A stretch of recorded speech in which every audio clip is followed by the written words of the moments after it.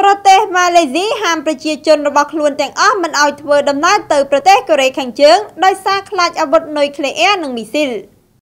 ប្រទេសម៉ាឡេស៊ីនាថ្ងៃប្រហ័សបានឲ្យដឹងថាប្រជាពលរដ្ឋរបស់ខ្លួនទាំងអស់ត្រូវបានហាមឃាត់មិនឲ្យធ្វើដំណើរទៅកាន់ប្រទេសកូរ៉េខាងជើងទៀតឡើយដោយសារតែកម្ដៅនៃភាពតានតឹងនៅក្នុងតំបន់ឧបទ្វីបកូរ៉េបង្កឡើងដោយការអភិវឌ្ឍអាវុធនុយក្លេអ៊ែរនិងមីស៊ីលប្លង់របស់ទីក្រុងជុងយ៉ាងខណៈអាមេរិកទើបតែបានដាក់កូរ៉េខាងជើងក្នុងប្រទេសនៃបំរាមកោចរដូចគ្នាកាលពីសប្តាហ៍មុននេះប៉ុណ្ណោះ នេះបើតាមការចេញផ្សាយដោយទីភ្នាក់ងារព័ត៌មាន Reuters នៅព្រឹកថ្ងៃប្រហ័សទី28ខែកញ្ញាឆ្នាំ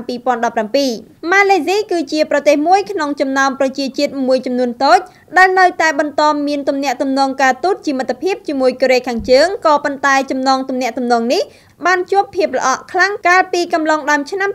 2017បន្ទាប់ពីមានអំពើឃាតកម្មទៅលើលោកគីមចុងណាំដែលត្រូវជាបងប្រុសម្ដាយទីតីរបស់ប្រមុខដឹកនាំកម្ពុជាផុតលេខកូរ៉េខាងជើងលោកគីមចុងអ៊ុនជាមួយគ្នានេះក្រុមបាល់ទាត់ជម្រើសជាតិម៉ាឡេស៊ីក៏ត្រូវគ្រងនឹងជួបជាមួយកូរ៉េខាងជើងក្នុងការប្រកួតដណ្ដើមពានអាស៊ានផងដែរនៅឯទីក្រុងព្យុងយ៉ាងនាថ្ងៃទី5ខែតុលាខាងមុខខណៈគម្រោងជួបមុខគ្នាត្រូវបានពន្យាពេលអស់ពីលើករួចមកហើយពីព្រោះតែក្តីព្រួយបារម្ភលើបញ្ហាសន្តិសុខសុវត្ថិភាពដោយឡែក ដោយសារតែបំរាមធ្វើដំណើរនេះភ្លាមភ្លាមគេមិនទាន់ដឹងច្បាស់នៅឡើយទេថាក្រុមម៉ាឡេស៊ីនឹងត្រូវអនុញ្ញាតឲ្យធ្វើដំណើរទៅប្រកួតនៅរដ្ឋធានីព្យុងយ៉ាងរបស់កូរ៉េខាងជើងដែរឬយ៉ាងណានោះទេគួរបញ្ជាក់ថាបើតាមសេចក្តីថ្លែងការណ៍របស់ក្រសួងការបរទេសម៉ាឡេស៊ីបំរាមខាងលើនឹងត្រូវត្រួតពិនិត្យក៏ដូចជាពិចារណាឡើងវិញនៅពេលណាដែលស្ថានភាពនៅឧបទ្វីបកូរ៉េវិលត្រឡប់ទៅរកភាពធម្មតាវិញ